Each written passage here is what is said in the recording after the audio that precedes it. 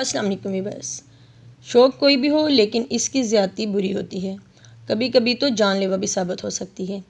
ऐसे ही शौक़ के बारे में हम आपको इस वीडियो में बताने जा रहे हैं, जिसकी वजह से कई लोगों को अपनी जानों से हाथ धोना पड़ा।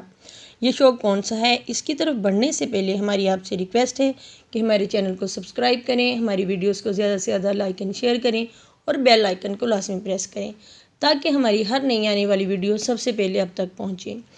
जी तो विवस ये शौक़ है तस्वीर का, यानी कि सेल्फ़ी का।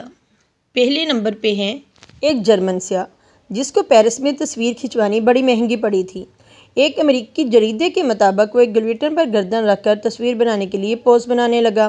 इस गलवीटन से 180 साल कबल मुजरमों की गर्दनें उतारी जाती थी। फोटोग्राफर अभी तस्वीर बनाने ही वाला था कि अचानक गलवीटन का ब्लेड घिर गया और जर्मन स्या की गर्दन कट गई।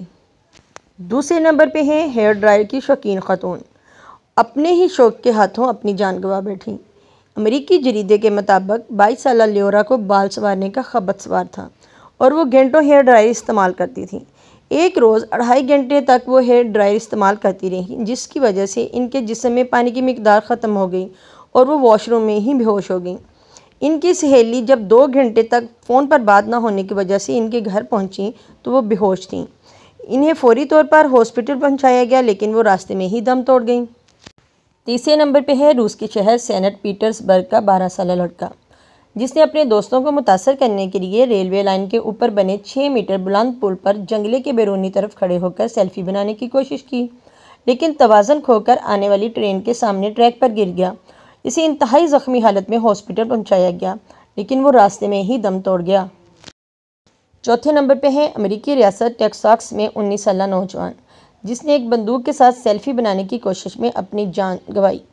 इसने समझा कि बंदूक में गोलियाँ नहीं हैं, लेकिन दरअसल वो लोडेड थी।